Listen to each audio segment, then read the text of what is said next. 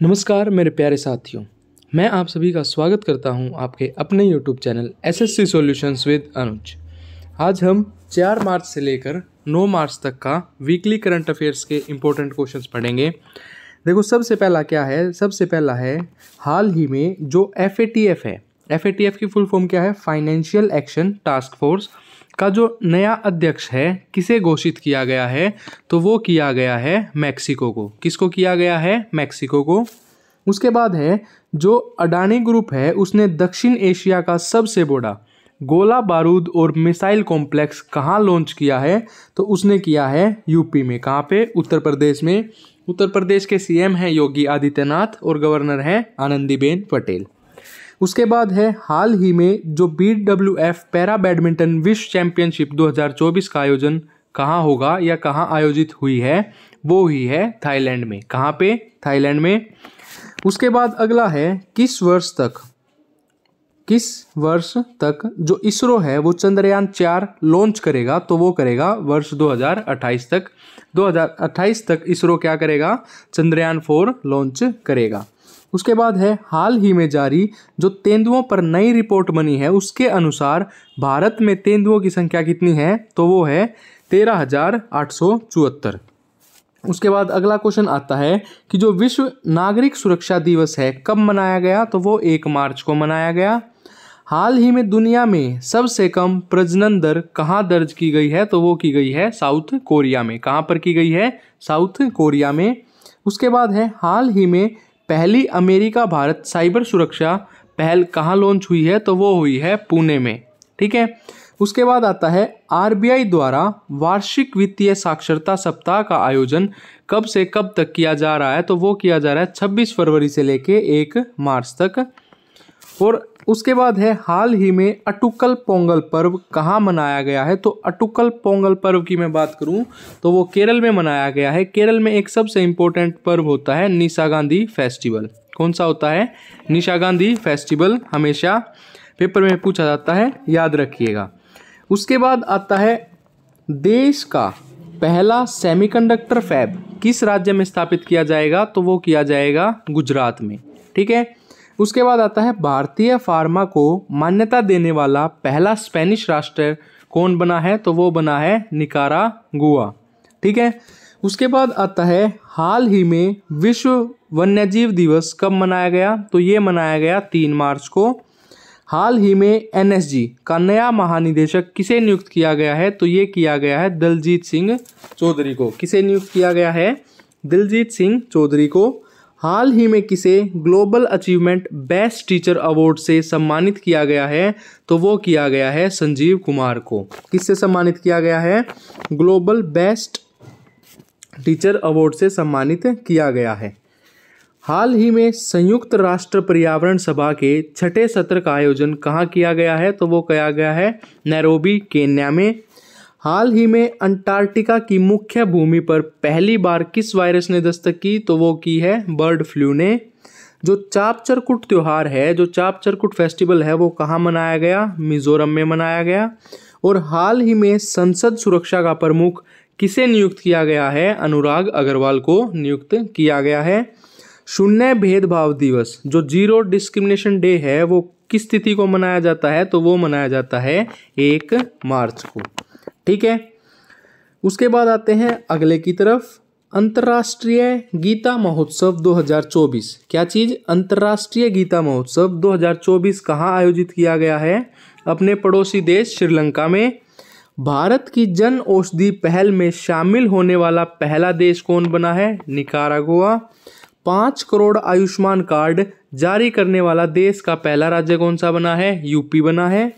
भारत और किस देश के बीच द्वीपशीय समुद्री अभ्यास। समुद्र लक्ष्मण हुआ है तो वो हुआ है इंडिया और मलेशिया के बीच में।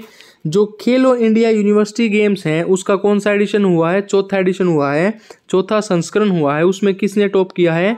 चंडीगढ़ यूनिवर्सिटी ने टॉप किया है। उसके बाद आता है, हाल ही में राष्ट्रीय जन्म दोष जागरूकता माह 2024 किसके द्वारा लॉन्च किया गया? तो वो लॉन्च किया गया है नीति आयोग के द्वारा। उसके बाद आता है सीमा सुरक्षा बल B S F F border security force की पहली महिला स्नाइपर कौन बनी है? तो Suman Kumari. International Big Cat Alliance का मुख्यालय किस देश में स्थापित किया जाएगा? तो वो किया जाएगा इंडिया में, भारत में। और हेड शील्ड समुद्री स्लग की नई प्रजाति का नाम किसके नाम पर रखा गया है? हमारी जो प्रेसिडेंट हैं, द्रौपदी मुर्मू, उनके नाम पर रखा गया है। ग्लोबल रिसोर्स आउटलुक रिपोर्ट किसके द्वारा जारी की जाती है? यूएनईपी के द्वारा जारी की जाती है। इसका हेडक्वार्टर कहाँ पे है? Nairobi, Kenya. उसके बाद आता है अदिति योजना। अदिति योजना निम्न में से किस क्षेत्र से संबंधित है? तो वो है रक्षा क्षेत्र से, डिफेंस मिनिस्ट्री से। हाल ही में ओशेन ग्रेस नामक A S T D S tug का उद्घाटन किसने किया? तो ये किया है सर्बानंद सोनोवाल ने। हाल ही में प्रधानमंत्री नरेंद्र मोदी ने कहा, सिंदरी फर्टिलाइज़र प्लांट का उद्घाटन किया है झारखंड में। किस राज्य की प्रसिद्ध कटक रूपा ताराकसी सिल्वर फिलिग्री ने जीआई टैगर जीत किया उड़ीसा? हाल ही में किस राज्य सरकार ने इंदिरम्मा आवास योजना शुरू करने की घोषणा की है, वो की है तेलंगाना शहर ने। हाल ही में प्रो कबड्डी लीग सीज़न 10 का विजेता कौन बने हैं? पुनेरी पल्टन किसको हराया है? हरियाणा स्टीलर्स को। जो भारत पेट्रोलियम स्पीड है, उसका ब्रांड एम्बेसडर किसे नियुक्त किया गया है? गोल्डन बॉय नीरज चोपड़ा को। ठीक है? हाल ही में विश्व बैंक जलवायु निधि पाने वाला भारत का पहला राज्य कौन सा है? गोवा है। और हाल ही में कहा, महाराणा प्रताप की 21 फीट ऊँची प्रतिमा का अनावरण किया गया हैदराबाद। कहा किया गया है? हैदराबाद में किया गया है। ठीक है?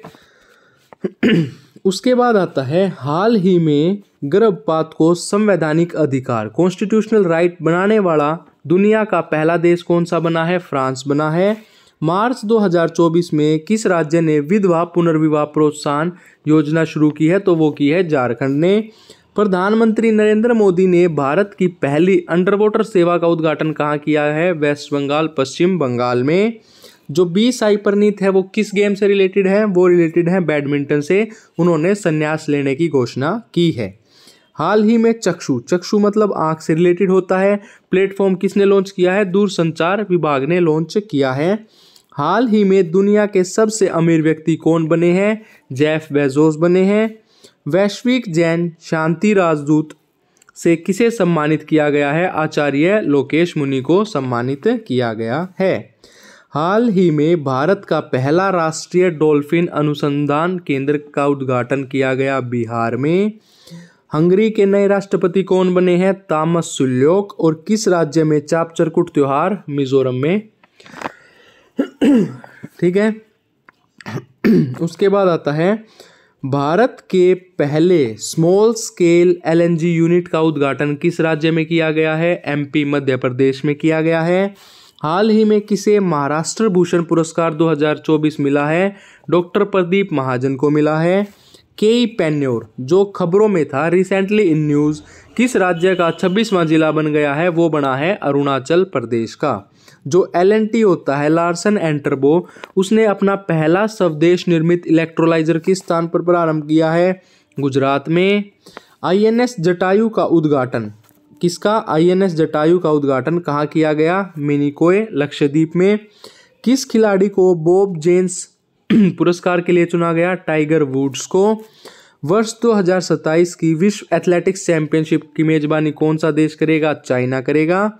O T T platform C Space launch किया है केरला ने।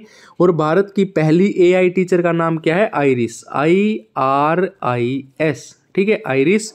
इंदिरा गांधी प्यारी बहना, सुख सम्मान निधि योजना किसने शुरू की है? हिमाचल प्रदेश ने। ठीक है? ये हमारे वीकली करंट अफेयर्स थे। अगर आपको वीडियो अच्छी लगी हो तो वीडियो को लाइक करें चैनल को सब्सक्राइब करें। धन्यवाद।